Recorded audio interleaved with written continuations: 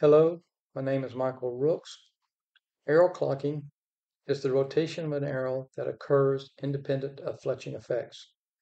Even bare shafts will display arrow rotation when shot. This rotation can be clockwise or anticlockwise. It is generally, but not universally, anticlockwise in a right-handed archer.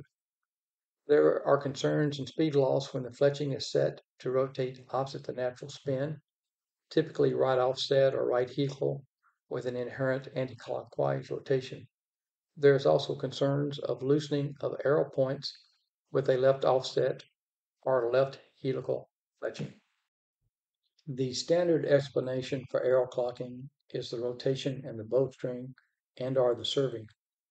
No mechanism for this causation is offered as far as I can determine. Evidence appears anecdotal at best. I am dubious that this is more than independent observations. Furthermore, there is more logical explanation, albeit less simple. Not so simply stated, I believe arrow clocking is due to Coriolis forces placed on an oscillator, the arrow, by combined gravitational and bow forces. We will start with the oscillator, the arrow, Compressive forces from the string will result in forward acceleration and bending of the arrow shaft. The bending produces vibrations or oscillations in the arrow.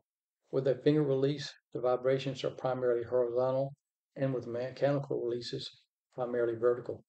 It is rarely purely one direction or the other. The vibrations produce an inertia, a resistance to change in position, that aligns with the plane of vibration. This is somewhat similar to the angular momentum of a gyroscope. Indeed, the gyroscopic sensors in your phone use an oscillator.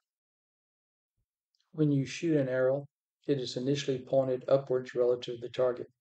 It rotates downward towards the target secondary to the force of gravity, the forward center mass in the arrow, and the air resistance of the fletching. This produces a downward rotating torque on the arrow in the vertical plane the arrow's interactions with the string, as well as the initial lateral displacement and reactive forces of the plunger produce torque forces in the horizontal plane. These are seen as fishtailing as the arrow leaves the bow.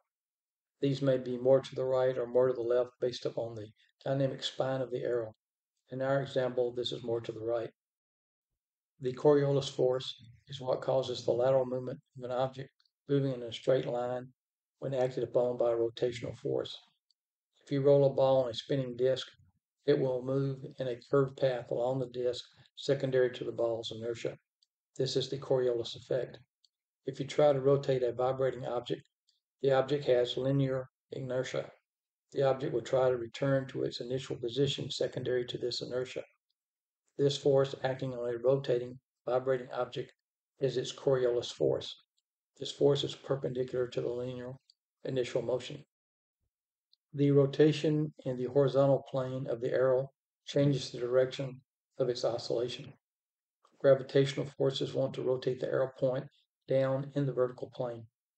This force is stronger on the left side of the arrow from the center and stronger on the right side of the arrow back of center. The resultant Coriolis forces produces a clockwise rotation. If the arrow rotation was to the left, the Coriolis forces would be reversed and rotation would be anticlockwise. Now I realize this explanation is much less palatable than the string twist theory, but it does have a more sound basis in standard physics. If you made it this point, I congratulate you on your pain tolerance and thank you for your attention.